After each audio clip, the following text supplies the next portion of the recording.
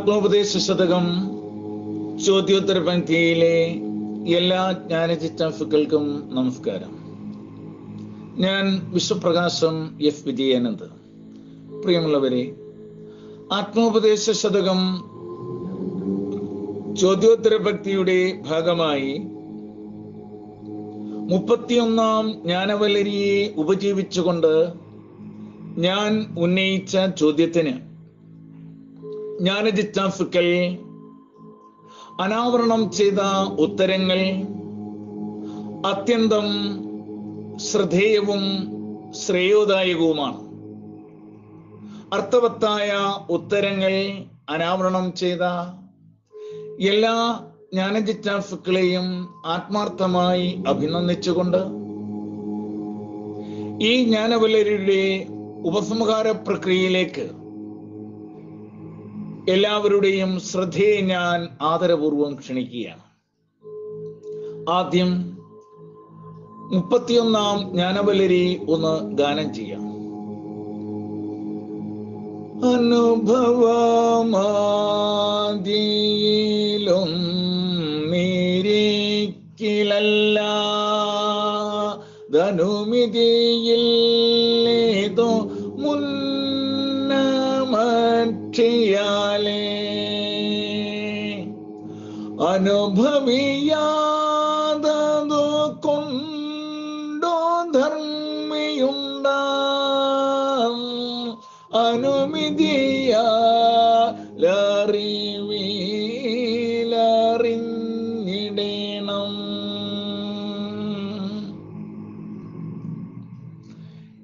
ഇന്ദ്രിയപരമായ അറിവ് വളരെ നേരത്തെ തന്നെ ഉണ്ടെങ്കിലല്ലാതെ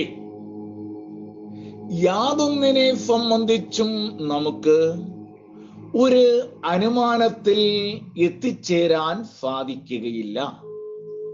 എന്ന് പറഞ്ഞാൽ യാതൊന്നിനെ സംബന്ധിച്ചും ഒരു അനുമാനത്തിൽ എത്തണമെങ്കിൽ അതിനു മുമ്പേ തന്നെ അത് സംബന്ധിച്ചിട്ടുള്ള ഒരു അനുഭവം ഉണ്ടായിരിക്കണം.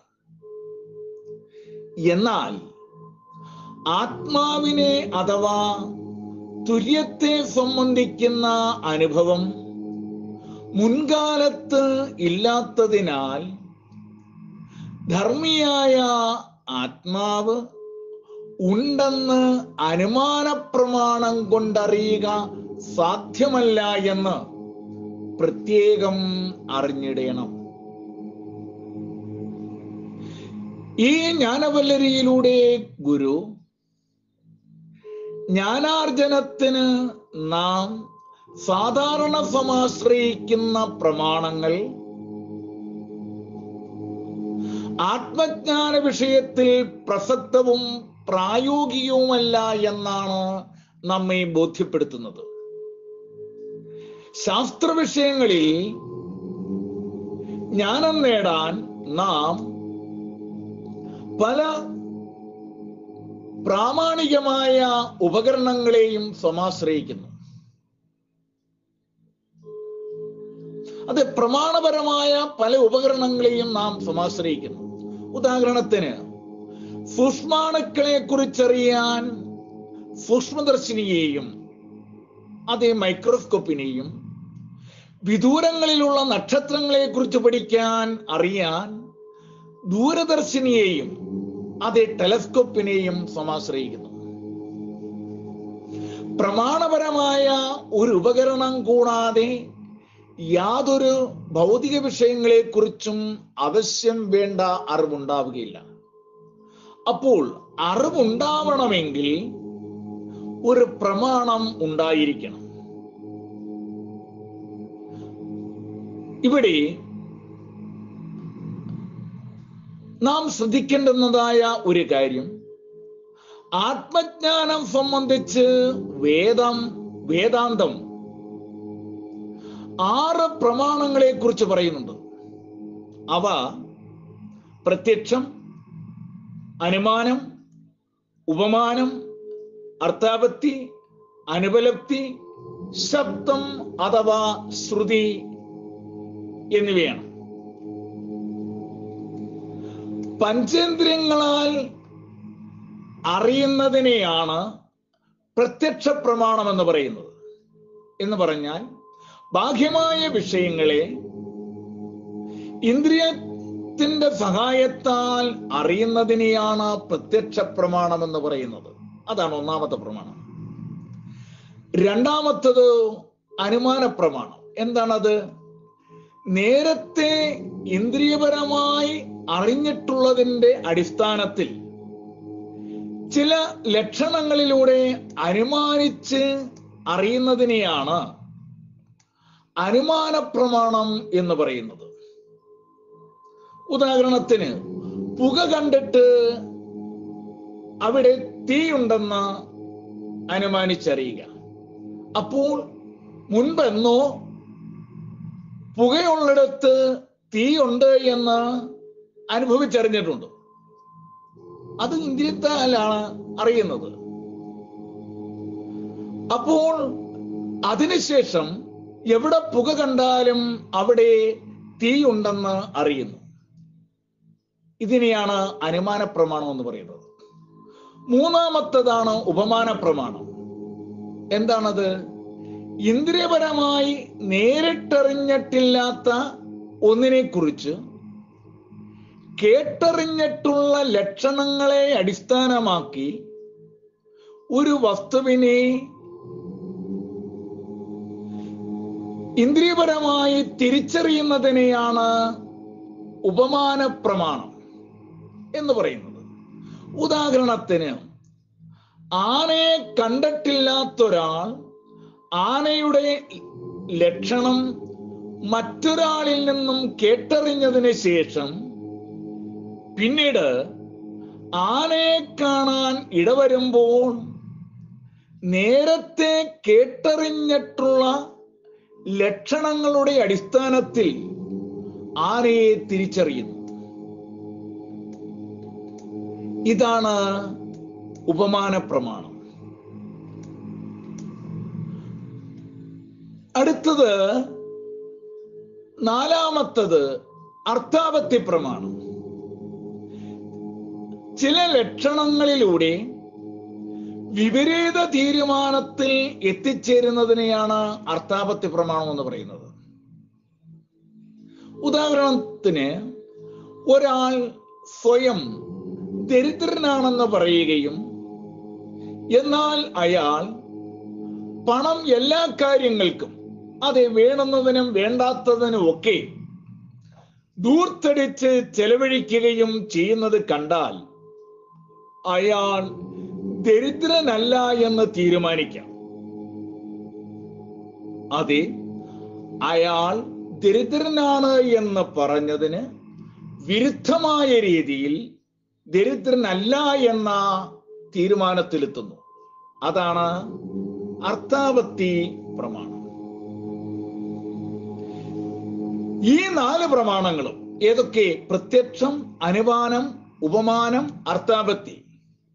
ഈ നാല് പ്രമാണങ്ങളും ഇന്ദ്രിയപരമായ അറിവിന് മാത്രമേ ഉപകരിക്കൂ.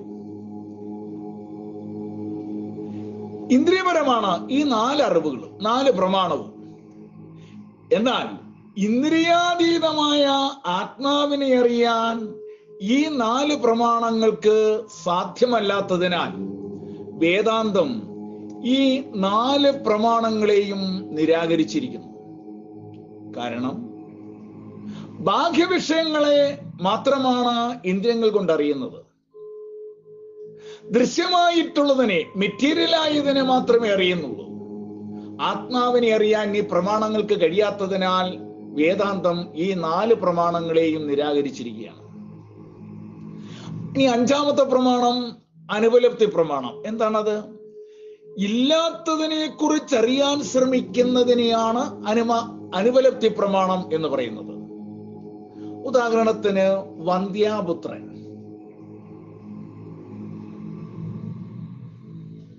വന്ധ്യാപുത്രൻ എന്ന് പറയ പുത്രനെ കാണാൻ ശ്രമിക്കുന്നത് ഇല്ലാത്തതിനെ അറിയാൻ ശ്രമിക്കില്ല കുതിരയുടെ കൊമ്പ്. ഇല്ലാത്തതാണ്. അതിനെ അറിയാൻ ശ്രമിക്കുക. ഇതിനെയാണ് അനുപലബ്ധി പ്രമാണം എന്ന് പറയുന്നത്. എന്നാൽ ഈ പ്രമാണത്തെയും വേദാന്തം നിരാകരിച്ചിരിക്കുന്നു. അതെ അഞ്ചാമത്തെ പ്രമാണത്തെയും വേദാന്തം നിരാകരിച്ചിരിക്കുന്നു. കാരണം ഉള്ളതായ ആത്മാവിനെ അറിയാൻ ഇല്ലാത്തതിനെ കുറിക്കുന്ന അഥവാ ഇല്ലാത്തതിനെ അന്വേഷിക്കുന്ന അനുപലബ്ധി പ്രമാണത്തിന് കഴിയില്ല. അതുകൊണ്ട് വേദാന്തം അനുബലപ്തി പ്രമാണത്തെയും നിരാകരിച്ചിരിക്കുന്നു. അപ്പോൾ ആറ് പ്രമാണങ്ങളിൽ അഞ്ച് പ്രമാണങ്ങളെയും വേദാന്തം നിരാകരിച്ചിരിക്കുകയാണ്. ആറാമത്തെ പ്രമാണമാണ് ശബ്ദം അഥവാ ശ്രുതി. ശബ്ദമെന്ന് പറയുമ്പോൾ നാം ബാഹ്യമായി ഉണ്ടാക്കുകയോ കേൾക്കുകയോ ചെയ്യുന്ന ശബ്ദം അല്ല. പ്രത്യുത ഋഷിമാർ ആന്തരികമായി കേട്ടറിഞ്ഞ ശബ്ദം. അതത്രേ ശ്രുതി അഥവാ വേദം. അപ്പൊ വേദത്തെയാണ് ശ്രുതിയെയാണ് ശബ്ദം എന്നതുകൊണ്ട് അർത്ഥമാക്കുന്നത്. എന്നാൽ വേദത്തിലെ എല്ലാ സത്വങ്ങളും പ്രമാണമല്ല. അതാണ് നാം ശ്രദ്ധാപൂർവം ഗ്രഹിക്കേണ്ടുന്ന ഒരു വസ്തുത. വേദം ശബ്ദമെന്ന് പറയുമ്പോൾ വേദമാണ്. പക്ഷേ വേദത്തിലെ എല്ലാ സത്വങ്ങളും പ്രമാണമല്ല. വേദത്തിലെ രണ്ട് കാണ്ഡങ്ങളിൽ ആദ്യത്തെ കാണ്ഡമായ കർമ്മകാണ്ഡത്തിലെ അനാത്മസംബന്ധിയായ കർമ്മങ്ങൾ ഇന്ദ്രിയപരമാണ്. കർമ്മകാന്ഡത്തിലെ ശബ്ദം ആത്മാനുസന്ധാനത്തിന് അഥവാ ആത്മജ്ഞാനത്തിന് പര്യാപ്തമല്ലാത്തത് കൊണ്ട് ആ ശബ്ദത്തെയും നിരാകരിച്ചിരിക്കുന്നു. എന്ന് പറഞ്ഞാൽ വേദം ശബ്ദമാണെങ്കിലും ആ വേദത്തിലെ കർമ്മകാണ്ഡ പ്രധാനമായ ഭാഗം ദേവതാരാധന സംബന്ധിച്ചിട്ടുള്ള ഭാഗം ആത്മജ്ഞാനത്തിന് ആത്മാനുസന്ധാനത്തിന് സഹായകരമല്ലാത്തതിനാൽ ആ വൈദികപരമായ കർമ്മകാണ്ഡ പ്രധാനമായ ഒന്നാം കാണ്ഡത്തിലെ ശബ്ദത്തെ നിരാകരിച്ചിരിക്കുകയാണ്. അതിനെ നിരാകരിച്ചിരിക്കുകയാണ്. പിന്നെയോ വേദത്തിലെ രണ്ടാമത്തെ കാണ്ഡമായ ജ്ഞാനകാന്ഡമായ ഉപനിഷത്തിലെ അഥവാ വേദാന്തത്തിലെ ശബ്ദമാണ് ആത്മജ്ഞാനത്തിന് പ്രമാണമായ ശബ്ദം. അതത്രേ പ്രാണന്റെ ഉദ്ഗീതമായ പ്രണവം അഥവാ ഓങ്കാരം. ഓങ്കാരം എന്ന ശബ്ദം മാത്രമാണ് ആത്മജ്ഞാനത്തിന് സഹായകരമായിട്ടുള്ളത്. ഓങ്കാരമാണ് പ്രമാണമായിട്ടുള്ളത്.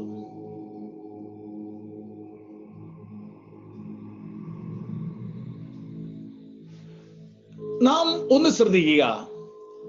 കോൺവെക്സ് ലെൻസും കോൺകേവ് ലെൻസും ബാഹ്യവിഷയങ്ങളെ കാട്ടിത്തരുന്നു. കോൺവെക്സ് ലെൻസും കോൺകേവ് ലെൻസും കാണാൻ ഉപക ഉപയോഗിക്കുന്നതാണ്. അത് ബാഹ്യവിഷയങ്ങളെയാണ് കാണാൻ സഹായിക്കുന്നത്. ഇതേപോലെയാണ് വേദത്തിലെ കർമ്മകാണ്ഡത്തിലെ ശബ്ദത്തിന്റെ തലവും. എന്നാൽ ഒരു ദർപ്പണം അഥവാ ഒരു മുഖക്കണ്ണാടി. നമ്മുടെ ശ്രദ്ധയെ ബാഹ്യ വിഷയങ്ങളിലേക്ക് ആകർഷിക്കാതെ നമ്മിലേക്ക് തന്നെ ആകർഷിപ്പിക്കുന്നു. നാം എങ്ങനെയാണെന്ന് നമ്മെ ബോധ്യപ്പെടുത്തുന്നു.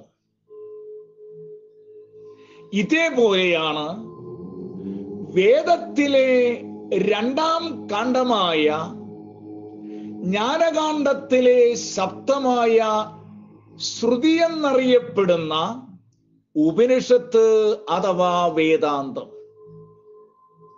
അപ്പോൾ വേദാന്തം ജ്ഞാനക്കണ്ണാടിയാണ്. നമ്മൾ നമ്മുടെ ഇനിമയാർന്ന രൂപത്തെ നമ്മെ ബോധ്യപ്പെടുത്തി തരുന്ന പ്രമാണമാണ് വേദാന്തം ഉപനിഷത്ത് ശ്രുതി നാദം.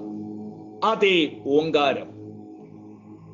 വേദാന്തത്തിലെ അഥവാ ഉപനിഷത്തിലെ ശബ്ദപ്രമാണമായ ഓങ്കാരത്തിലൂടെ മാത്രമേ ആത്മജ്ഞാനം അഥവാ തുര്യബോധം അഥവാ ധർമ്മി ഉണ്ടെന്ന് അറിയുകയുള്ളൂ. ഓങ്കാരം ആത്മാവാണ്. അഥവാ ആത്മാവ് ഓങ്കാരമാണ്. ആത്മാവ് കൊണ്ടേ ആത്മാവിനെ അറിയാൻ കഴിയുകയുള്ളൂ. കരുവായ ആത്മാവിനെ അറിയാൻ ബാഹ്യവിഷയജ്ഞാനം തേടുന്ന പഞ്ചേന്ദ്രിയങ്ങളെ അടക്കി ശബ്ദപ്രമാണമായ ഓങ്കാരത്തെ തെരുതരെ ഓതി അതിൽ മൃദുവായി മൃദുവായി അമരണമെന്നാണ് ഗുരു ഉപദേശിച്ചിരിക്കുന്നത്. അതുകൊണ്ട് ശബ്ദപ്രമാണമായ ഓങ്കാരത്തെ ശ്രുതിപ്രമാണമായ ഓങ്കാരത്തെ തെരുതര വീണ് വണങ്ങി അതിൽ മൃദുവായി മൃദുവായി അമരുവാൻ. ഏവർക്കും ഇടവരട്ടെ എന്നുള്ള പരിചിന്തനത്തോടെ ഞാൻ ഇവിടെ അർത്ഥ അർത്ഥവിരാമമിടുന്നു. എല്ലാവർക്കും നമസ്കാരം.